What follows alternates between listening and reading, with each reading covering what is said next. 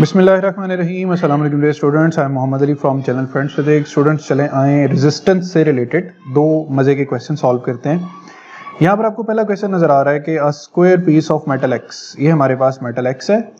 Has a side L and a thickness T इसकी जो sides है, उनकी लंबाई एल है और जो थिकनेस है, वो टी के बराबर है। As shown if the resistance between oppositely shaded faces ठीक है, ये ऑपोजिटली शेडेड फेसेस जो हैं, इनके दरमियान रेजिस्टेंस आर एक्स है, और फिर इसके साथ वो कहता है कि second square piece of the same metal metal Y है has sides twelve and thickness T अब इसकी जो साइड्स है ना, उसकी लेंथ डबल हो गई है ट्वेल्व हो गई, लेकिन थिकनेस सेम है।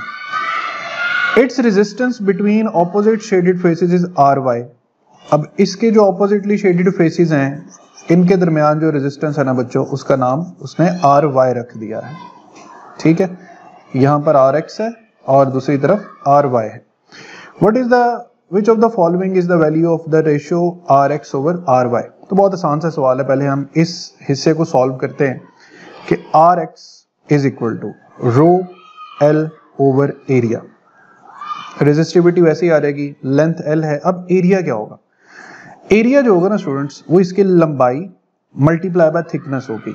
लेंथ मल्टीप्लाई बाय थिकनेस ताकि हमें ये थिकनेस ये मोटाई पता चले कि इस हिस्से की थिकनेस कितनी है, यानी टोटल एरिया कितना है जो इन दो फेसेस के दरमियान इंक्लूड हो रहा है। तो हम क्या करेंगे? लेंथ को थिकनेस से क्या कर देंगे? मल्टीप्लाई कर देंगे। तो हमारे पास यहाँ पर रेजिस्टिविटी ओवर टी थिकनेस जो है ना, ये आंसर आ जाएगा, क्योंकि एल से एल कैंसिल हो जाएगा, ये किसकी रेजिस्टेंस आ जाएगी? आर एक्स की। अब हम फाइंड करते हैं रेजिस्टेंस आर वाई की। R Y is equal to rho अब लेंथ यहाँ पे डबल है। तो नीचे जब एरिया फाइंड करना है तो एरिया के लिए भी हमने टू एल और थिकनेस तो अभी भी वही है। अब देखें थिकनेस से थिक लेंथ से फिर लेंथ कैंसिल हो गई और रेजिस्टेंस फिर रेजिस्टिविटी ओवर थिकनेस टी आ गई। अब दोनों आंसर सेम आ रहे हैं। दोनों आंसर अगर सेम आ रहे हैं तो R x over R y will simply be one ratio one तो हमारा राइट आंसर आ जाएगा सी तो ये हो गया हमारा पहला क्वेश्चन अबाउट रेजिस्टेंस ठीक है? ये मैं फिर बता रहा हूँ कि ये जो थिक एरिया है, यहाँ की हमने टोटल रेजिस्टेंस बतानी है, जो इन दोनों फेसिस के दरमियान एग्जिस्ट करती है, उसके लिए हमने लेंथ को किससे मल्टीप्लाई करना है? थिकनेस से।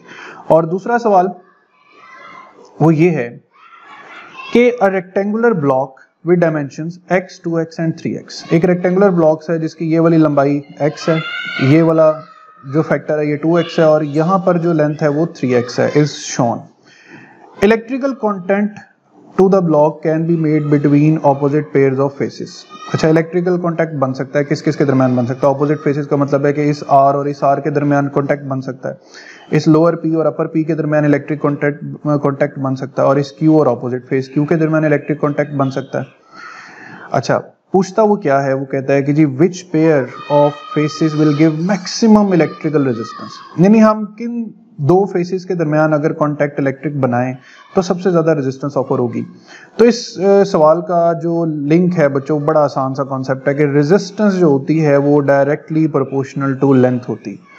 अब आप ये देखें कि कौन से दो पॉइंट्स हैं जो आपस में सबसे ज़्यादा डिस्टेंस पर हैं। क्या ये P और P पॉइंट्स हैं? क्या ये Q और Q पॉइंट्स हैं? या फिर क्या ये R और R पॉइंट्स हैं?